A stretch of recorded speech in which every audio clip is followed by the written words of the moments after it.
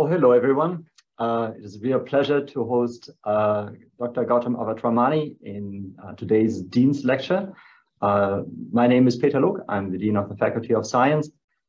And I think this is my third time hosting the Dean's Lecture. Uh, the, I had to be informed originally that it is Dean's apostrophe lecture and not Dean apostrophe S lecture. So I don't host all the lectures, I hold, host just one of them.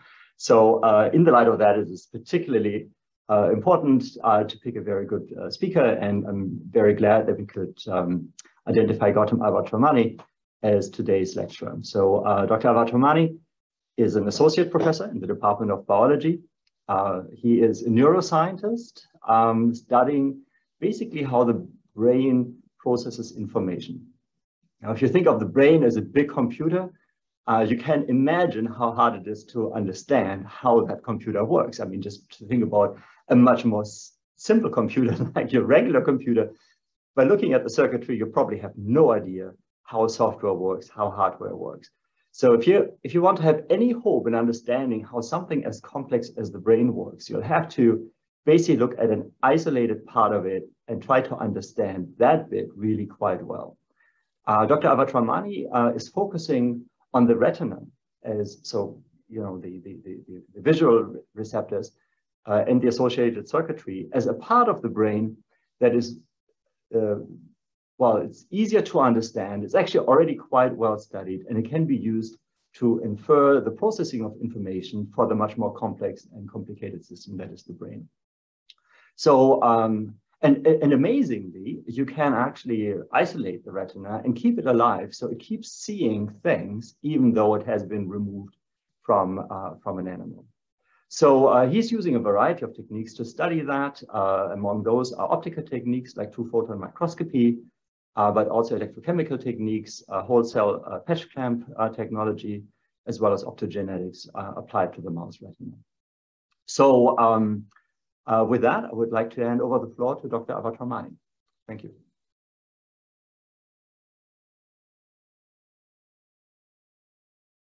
Thank you, Peter, for this kind invitation to tell you a little bit about the neuroscience that goes on in UVic, in my lab, and a few others. So, uh, like you see on this slide, the brain is made up of neurons, and they're made up of hundreds and billions of neurons that are connected to each other via synapses. These are chemical uh, junctions between neurons that allows information to flow through the brain. Now, understanding how the brain computes information is a Herculean task and has engaged neuroscientists over many hundreds of years now. And uh, it's still uh, quite uh, enigma how the brain works. And to get some insights into how computations happen, we have turned to the most accessible part of the brain, which is the retina. This is a part of the brain that lies at the back of the eye and where, where images captured by the eye fall onto and are detected. When this happens, um, the light energy is converted into electrical impulses and that information is sent to the brain. So the retina is really a model system for trying to understand how the brain works because we understand what the input is, which is just a simple image, and we can actually record the output uh, in terms of electrical activity. And that's what these yellow lines signal. All right, these are little action potentials, which is the language the brain uses.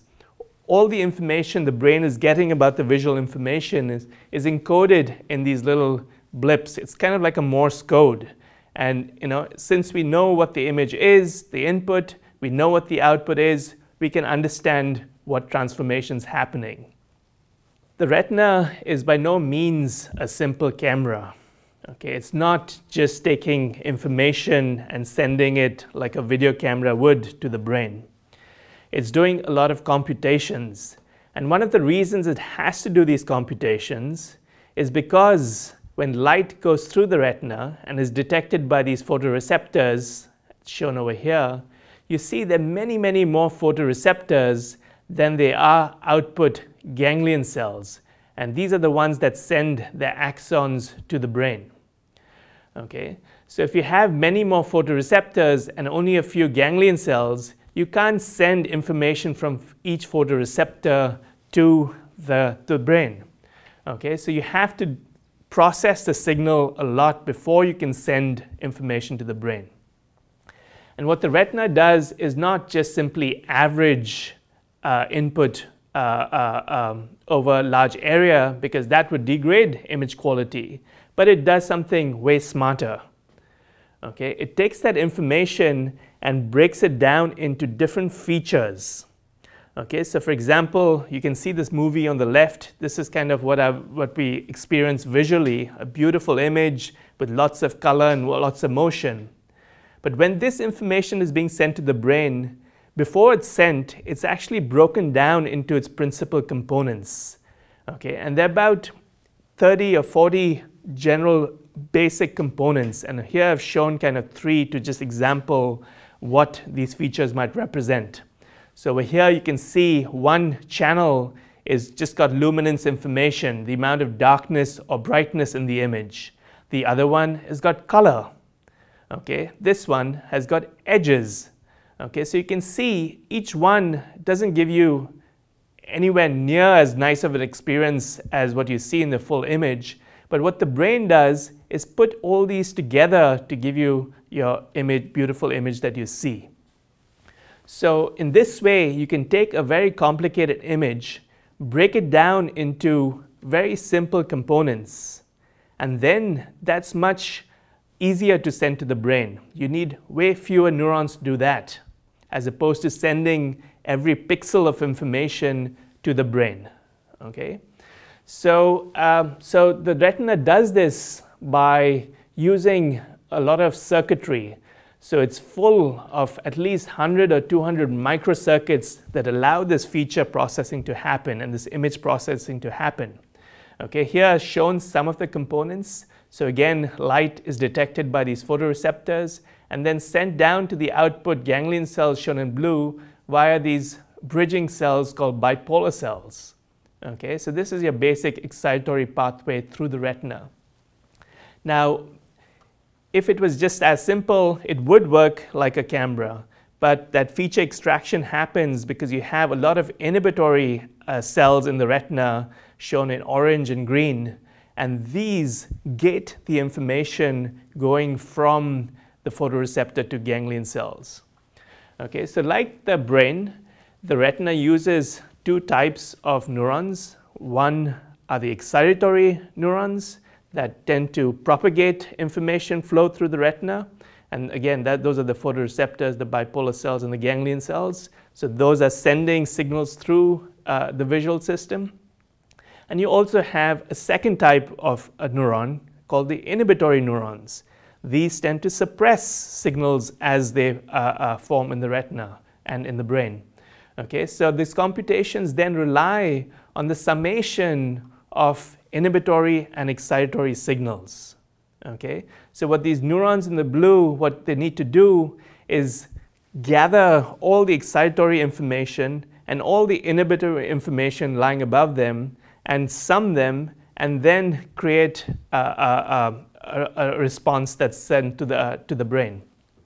And because each excitatory neuron and inhibitory neuron has different shapes and biophysical properties, the amount of inhibition and the excitation is not the same. Okay, if they were the same, they would just cancel. But they're very different spatial temporal patterns of inhibition and excitation arriving at a given neuron, and the way it sums them and uh, uh, uh, is the basis for retinal computations. And this is the basis for any computation in the brain. Okay, the brain, all it does is process excitatory and inhibitory information. And that's what every experience you have, whether you're listening to this talk, whether you're seeing the talk, whether you're feeling something, it's all relying on neurons being able to sum inhibition and excitation. So what we're trying to do is understand how and you know how precisely neurons can sum inhibition and excitation to provide relevant information.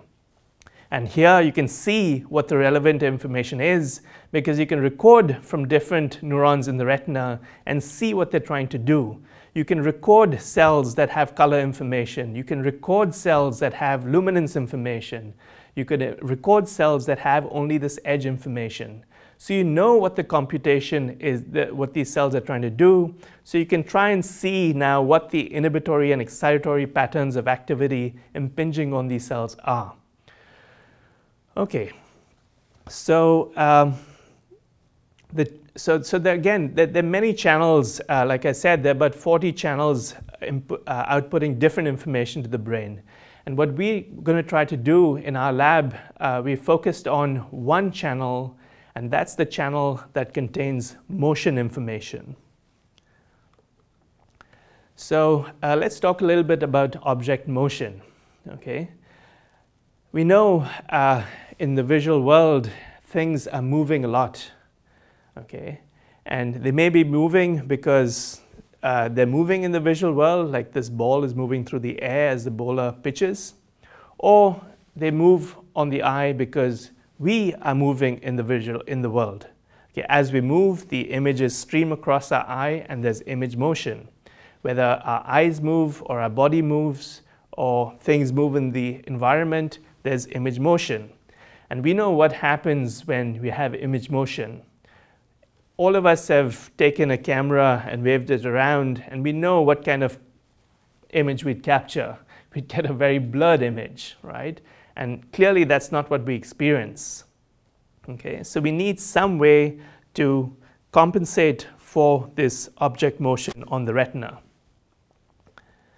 Okay, and the way we stabilize the image is by moving, uh, moving the eye. Okay, the eye has several muscles, uh, some oblique and some, uh, uh, uh, there, there, are about six muscles in the eye, and we can move it in, in different directions.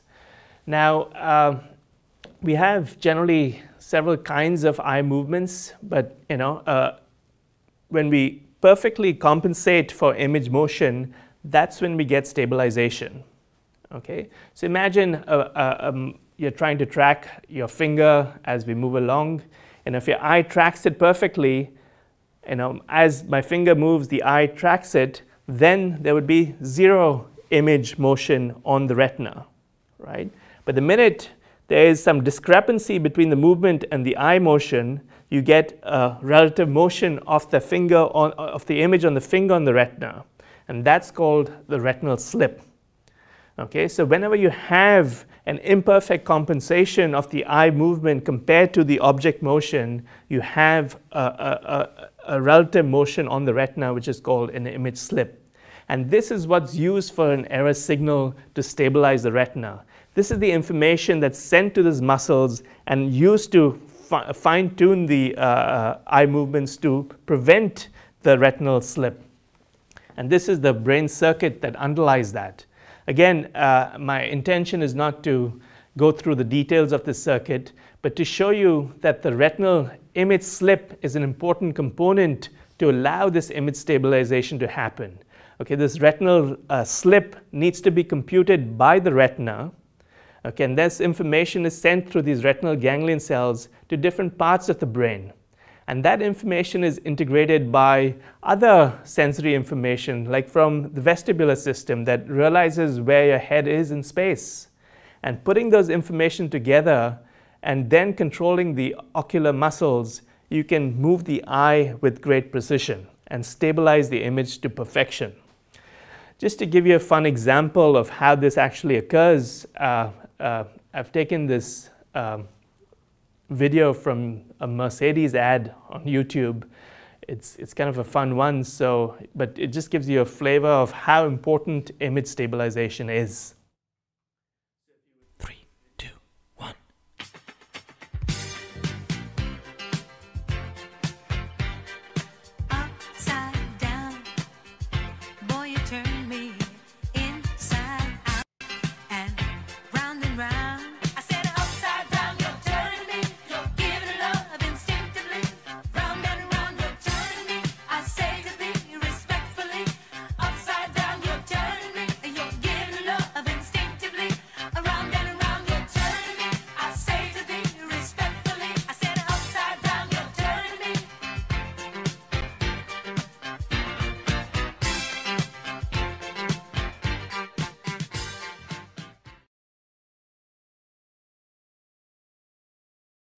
So yeah, focus on the eyes and see how amazingly stable it's remaining, even though the body is being moved around in all sorts of ways, right? And this is critical for the animal to be able to see clearly.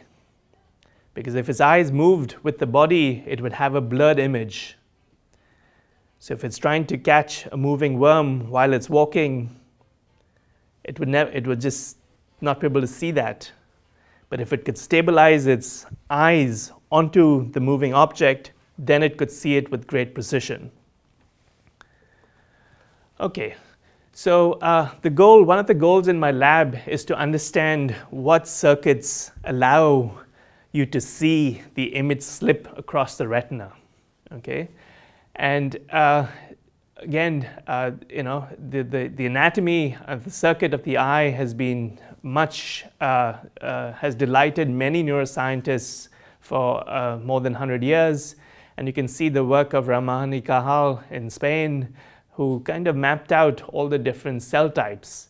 And he, he got many of the, them correct, but really underestimated the diversity. We now know the retina is not composed of five or six cell types shown over here, but in fact, hundreds of cell types. Okay, you have lots of kinds of uh, ganglion cells, about 40, 50 types. You have lots of inhibitory amacrine cells, maybe 50, 60 types. And you have lots of bipolar cells, maybe a dozen or so types. So you have a lot of cells, and they're all combined in very specific patterns. Okay, they're not randomly connected. They're connected in very specific patterns, and that specificity determines what computation is happening because depending on what you're connected to, you sum inhibition and excitation accordingly. Okay, so the challenge now is to try and understand how these neurons are actually wired up together to allow this microcircuit to compute information. And again, uh, over here, we've kind of moved uh, to, uh, to, to understand the circuitry. We use the mouse retina as a model system because we, we have a lot of information about the genes that are specified in each of these different types of cells. In fact, you know, each cell has its own complement of genes, and that's what you're seeing over here. And you can see different clusters of genes that identify different cell types. And we can take advantage of that and uh, try and label specific microcircuits in the retina. So in my lab about 10 years ago, we identified a gene that labeled direction selective ganglion cells in the mouse retina. These are the ones that detect image slip. Okay, so if you make a recording from one of these ganglion cells, these direction selective ganglion cells shown over here, you can see when you have uh, an image moving uh, on the retina in a certain direction, you can see like for example here's an image and here's the ganglion cell. If it moves from left to right, this ganglion cell would fire a bunch of action potentials, a robust burst. And each one of these is sending a message to the brain that there's image slip from left to right. However, if the same image moves from right to left, then you see no action potentials or very few action potentials. So there's very selective information encoded in this ganglion cell. It says there's motion in a preferred direction. Okay, so it's telling the brain in which direction that image slip is happening. And we have four kinds of these direction selective ganglion cells, and they're tuned towards the cardinal directions. Okay, so again, uh, this in fact, th this idea that the slip uh, detectors in the retina is actually quite old. Barlow and Levick detected, uh, uh identified these neurons about 60, 70 years ago the idea uh, of how this happens is continuously evolving. Okay? So now with mouse genetics, we can get a very detailed picture into how this computation is happening because we can genetically label ganglion cells and we can also genetically label these other cells shown in red. These are called the starburst amacrine cells. These are inhibitory neurons. Okay, so the way the computation is happening again is by the ganglion cell is getting excitatory information from the photoreceptors via these bipolar cells labeled in blue. and it's combining it with the inhibition coming from the starburst amacrine cells in red. Now, the starburst amacrine cells uh, have been implicated in the circuit for uh, almost 10, 20 years now, and know, destroying these starburst amacrine cells leads to a complete loss of this direction selectivity. So these are really uh, critical for the computation. And in fact, this is, this is uh, uh, the direction selectivity occurs in this cell before it occurs in the ganglion cell. And I'll show you some data for that. Now, it's great to have genetically labeled fluorescent sensors in these ganglion cells and starburst amacrine cells because you can visualize them so easily, right? But and, and that's what you see over here, right? So each one of these somas belongs to one of these cells. So again, we're looking at a, a, a, retina and it's, it's whole mounted. So you're looking at it from the top. Again, these are the ganglion cells. And if you look very carefully, you can actually see these little lines. And these are the axons of the ganglion cells and they're streaming to the optic disc. Okay, and this is where uh, they leave the retina to higher parts of the brain. Okay, but when you actually want to record from these uh, uh, cells, there's a problem, okay? And uh, the problem is as follows. When you have fluorescence, to, in order to view fluorescence, you actually have to shine very bright light onto the retina. Okay, so this is a diagram of how fluorescence is generated. You generally have a fluorophore and you shine a laser light onto it with high energy. And what that does is bump the electrons in the molecules, in the fluorescent molecules, to a higher energy state. Okay? And then what happens, the energy needs to be dissipated in some way, and that happens often by emitting some photons. Okay, and when the, when the excited electrons emit a photon, it comes back to its ground state. Now, and, and, and this emission of photons is what we detect as fluorescence. Okay, so this is, this is you know, conventional fluorescence. And uh, the problem with this is, is when we use this high energy light to excite fluorophores, what happens is we also excite the photoreceptors. Okay, and if you excite photoreceptors, then it's difficult to keep the retina healthy and intact it's like looking into the sun because you're using really intense light. And if you're looking into the sun, you know what happens to our visual system. So if you record any uh, from any neurons while shining this bright light, it's almost impossible to get uh, uh, physiological responses. Okay, so how do we get around that? We get around that by using an advanced technique called two-photon imaging. Okay, this is a, a, technique, it's a revolutionary technique that was pioneered by Winfried Denk and Watt Webb in Cornell and in the Bell Labs. And uh, it's really revolutionary for many, many reasons. But for, for, for the sake of the retina, it's really important because it uses infrared to generate fluorescence. Here in, in UVic, we've built a own two photon microscopes uh, with the kind uh, support from UVic and the Canadian uh, Foundation of Innovations. And also we were very fortunate to have Dr. Delaney who trained many years ago with uh, uh, folks in the Bell Labs and at Princeton and who really understood these, the, the technology with great detail and he really helped us pioneer new systems at UVic. So he was instrumental in putting these systems together. And he's also got some of these in his own lab uh, doing similar research.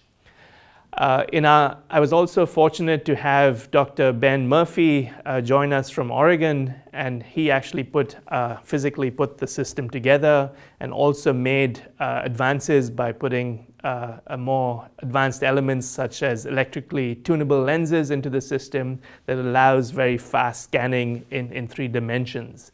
So we have a beautiful system now to image neurons in the retina without bleaching the photoreceptors, okay? And that, that's the huge, uh, uh, uh, that's what's allowing us to make giant steps in the field. Now, uh, the retina itself, uh, I'll just kind of show, take you through the process of how we do experiments in the lab. So we extract these eyes from mice and then uh, microdissect out the retina, and you can see uh, how it's done over here. So this is the retina taken out. We then lay it flat on a cover slip and put that cover slip in under the two photon microscope shown in this red slide. And you can see uh, the retina is placed down over here and you have a little camera, an infrared camera, and you can see a flat mount retina over here. Each one of these circles is, is a ganglion cell. You don't see its axons, they're very fine, but these are mainly ganglion cells. Then you can come down with either electrodes or with your laser and, and, and image activity in the retina. So again, here you can see the, uh, uh, these, these little micro manipulators are holding microelectrodes and you can target selectively single cells that are genetically identified. So here you can see uh, you know, there's a huge number of ganglion cells and to realize which ones are direction selective and which ones are detecting that slip would be you know, trying to find a pin in a haystack, right? But because we have those genetically labeled, we can turn on a two photon laser and identify which of these many cells are encoding direction. And I'm not sure if this is showing up, but these little red cells over here, labeled in red, are the ones that are, uh, are genetically identified as direction selective ganglion cells. So now we can come with our robotic manipulators and target these cells with a micromanipulator uh, and, and microelectrodes. So these are really fine tip electrodes. The tip is barely a micron uh, uh, big. And you can see we can target the soma of these ganglion cells and make electrical recordings.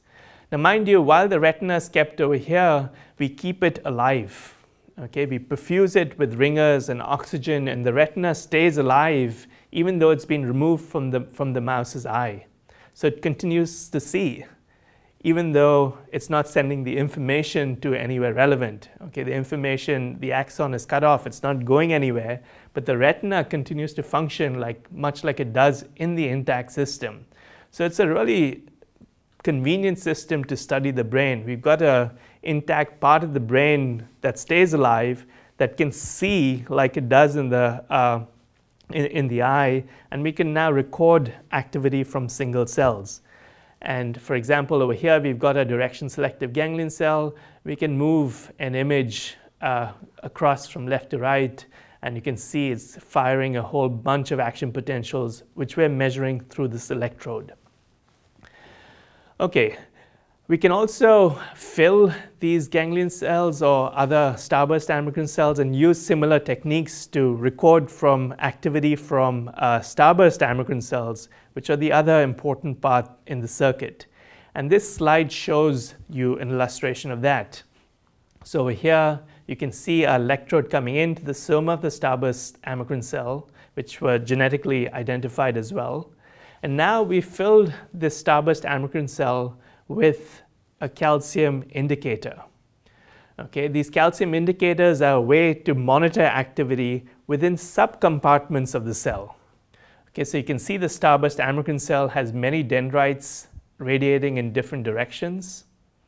Again, each one of these dendrites is a single computational unit.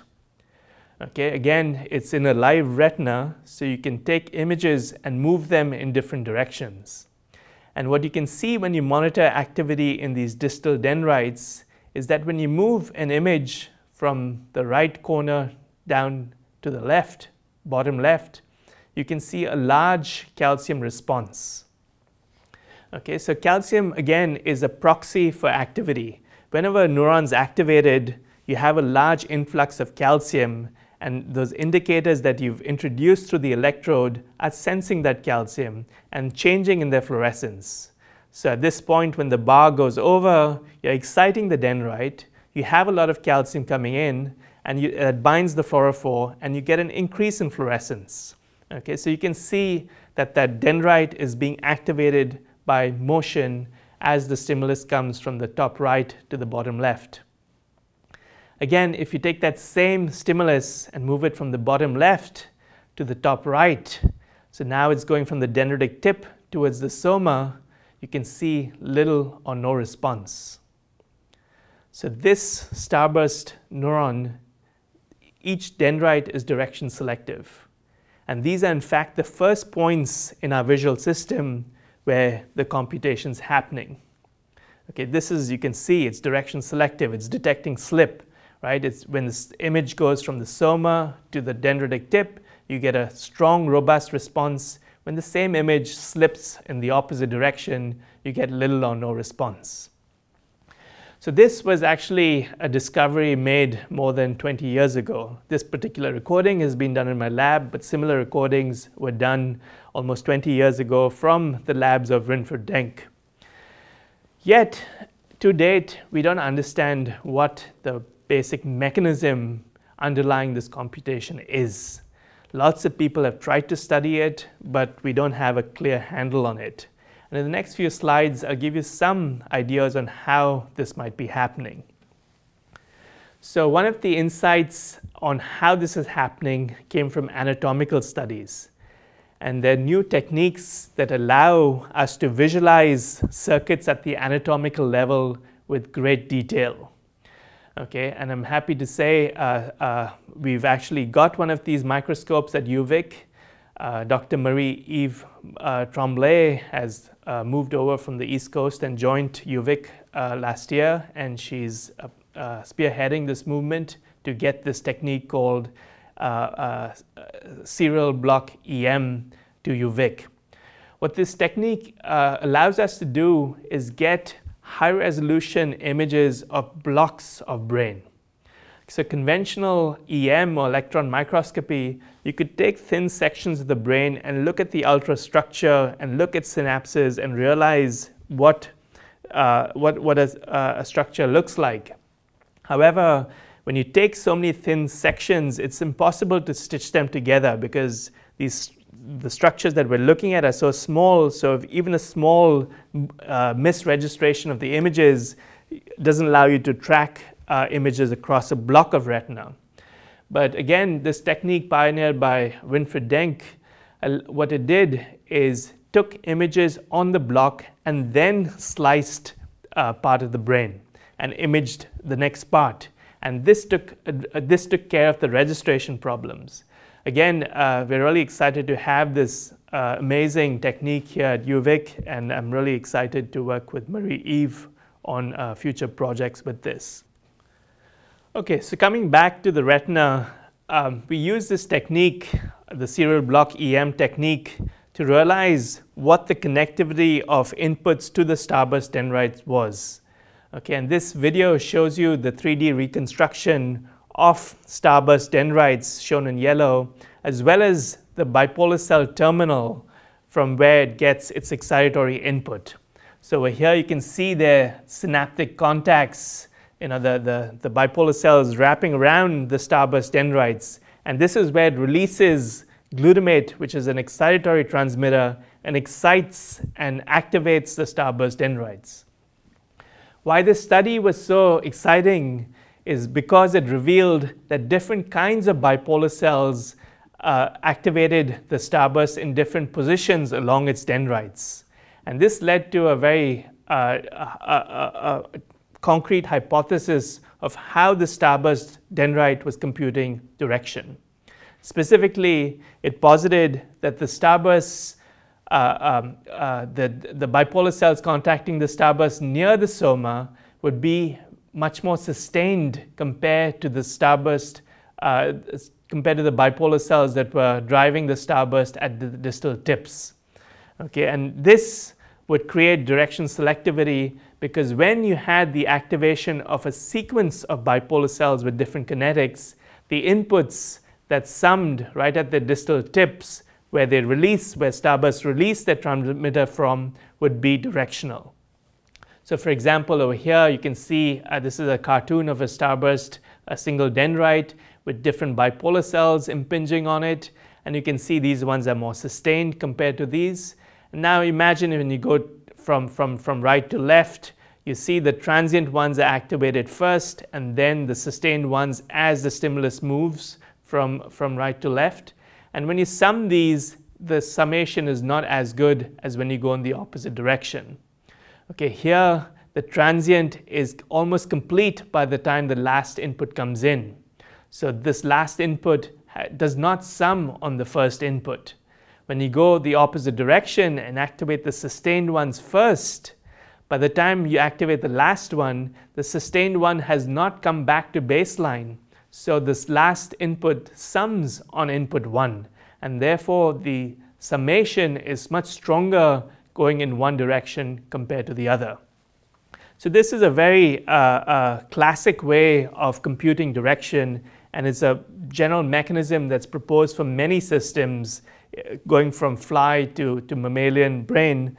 But here we thought this could be uh, if, if you had different bipolar cells, anatomical classes of bipolar cells uh, uh, impinging onto the starburst, this would be a viable model for how direction selectivity is generated in the starburst dendrite.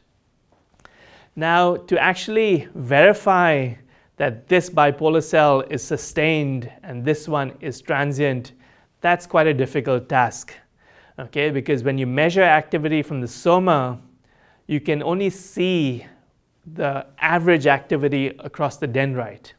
Okay, when we measure calcium activity in the dendrite, the calcium influx is limited to the output sites, so we don't see much activity along the dendrite itself. So monitoring and verifying that these bipolar cells are sustained and these ones are transient has been a huge challenge. So basically, this whole hypothesis remained untested so far. We attacked this problem using a new, uh, newly developed genetically encoded glutamate sensor. Okay, so the sensor, it senses glutamate being released from the bipolar cells. Remember, this is the excitatory neurotransmitter that excites the starburst.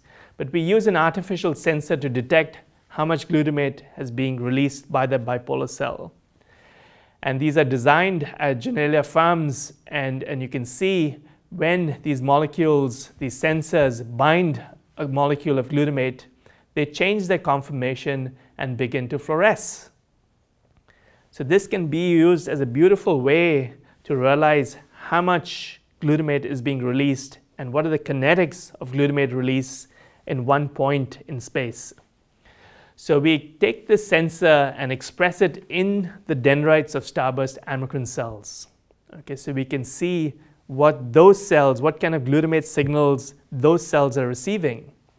Okay, so again, uh, the, the many dendrites, uh, the starburst amacrine cell dendrites make a huge mesh, so you don't see them individually so easily, uh, except in a few cases where we have weak expression of the sensor.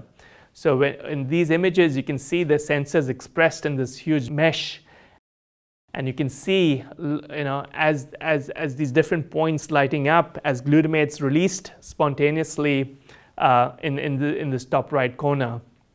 You can also see um, um, when you move an image, in this case from the bottom right to the top left, you can see a wave of activity as, as, as the glutamate is being released sequentially as the bipolar cells are stimulated as the image goes from the uh, right to the left. Okay, over here you can see the, the bipolar cells are stimulated simultaneously because we're using a flash over the retina. So there's no motion and you can see glutamate is being uh, uh, released all over at the same time. And just to give you a sense of what the bipolar cell terminal looks like, I've also added a slide that shows the axon terminals of the bipolar cells. So remember over here, we're expressing the sensor in the starburst dendrite and just seeing a functional image. Over here, we're seeing an anatomical image, and you can see there's a close correspondence. So this work uh, was done by uh, Dr. Prerna Srivastava, who joined our lab uh, last year. Okay, the main question, how do the kinetics change along the length of the dendrite? So in some instances, Prerna was able to get expression in single or a few starburst amacrine cells. And you can see over here, the radiating morphology identifies the starburst amacrine cells. And she was able to go along the dendrite and image along the dendrite and shine spots of light. Okay, and indeed, what you, what you see over here is when you shine light in the proximal part of the dendrite near the soma, the response is very much more sustained compared to as you move the spot along the dist towards the distal dendrite. It becomes more and more transient. Okay, so you can see the peak response doesn't change across the dendrite, and that's kind of plotted over here. But the sustained phase is only prominent near the soma and gets smaller and smaller as you go away from the soma. And that's kind of plotted over here for many dendrites. So essentially, the response is going from being sustained to being transient. So the starburst is receiving different sorts of excitatory inputs along its dendrite. So importantly, you know, over here, we're stimulating them sequentially one by one in isolation. But when you go with moving stimulus, this is expected to generate direction selectivity. Again, when you move from the left to right in this cartoon, you'll activate the sustained one before the transient one. And that, thus, when, when, when, when the neuron is summating these inputs at the distal tip where it releases transmitter, it's getting information uh, that, that's much stronger than when it goes the other way. Just because when you go with the transient ones first, you don't get summation with the, with the uh, sustained input near the soma as shown over here. So this is now providing a beautiful insight into how direction selectivity is happening at the level of the starburst. Remember, we've gone now from looking at this beautiful video from the Mercedes ad to understanding how chickens can stabilize their head using the retinal slip to understanding the molecular aspects and, uh, and, and the players involved in retinal slip to understanding how the kinetics of the input can be used to generate you know, this direction selectivity. So uh, this is by no means a complete picture of how retinal slip is happening. We've also realized that the starburst is getting many inputs from inhibitory cells. So, so in the last slide, they showed you the excitatory inputs and how they contribute to uh, direction selectivity. So again, using EM and uh, uh, collaborating with uh, Dr. David Berson at Brown University, we've been able to go through these EM stacks and realize what the other partners to the starburst amacrine cell are. And by, you know, again, by EM tracing the synapses, you can see synaptic contact made from other cells besides the bipolar cells, and you can actually trace those out. And you can see over here, this is uh, another kind of cell that connects to the starburst amacrine cell. This one is much larger and it's called a wide field amacrine cell. Over here, you can see yet other types uh, uh, that have much narrower fields, and these are called the narrow field amacrine cells. And so basically, what we're doing is putting a whole wiring diagram of the, the DS circuit together. Okay, we know direction selective ganglion cells, these are the ones that are outputting information to the brain about retinal slip. We know that information comes from the starburst amacrine cell because you destroy these cells and the ganglion cell loses its ability to send directional information to the brain. We know different kinds of bipolar cells impinging onto the starburst amacrine cells, and we know that different wide field amacrine cells and different narrow field amacrine cells. And the current challenge is to figure out what these other amacrine cells are doing to allow us to allow the, the circuit to you know, detect slip in a very accurate way. Okay, so I hope uh, this uh, presentation has excited you about neural circuits and how we can go from uh, you know, understanding a complex behavior to a well-defined circuit and look at the anatomical and functional properties and realize how this is happening with you know, unprecedented detail. Finally, I just want to thank uh, all the people who did all the work and, and this is my lab. Uh, actually, this is from last year. Uh, a couple of people have joined and a couple of people have left. I haven't got a chance to talk about Laura Hansen's work, also uh, realizing uh, some unique properties of the bipolar cells, and Pratyusha also uh, talking about um, uh, the orientation selectivity of bipolar cells. Jeff does the computational modeling. Varsha defined all those narrow field amacrine cells. Uh, Tracy helps us with all the injections that allow us to get these beautiful GluSnFR movies. Uh, I talked a little bit about Ben's work, and Santosh uh, did uh, work that I didn't talk about today. And we've also had the pleasure of lots of collaborators, which are listed over here. And of course, all this work would not be possible with the generous funding of CIHR, NSERC, the Foundation for Fighting Blindness, and Brain Canada with that, I'll end today's talk.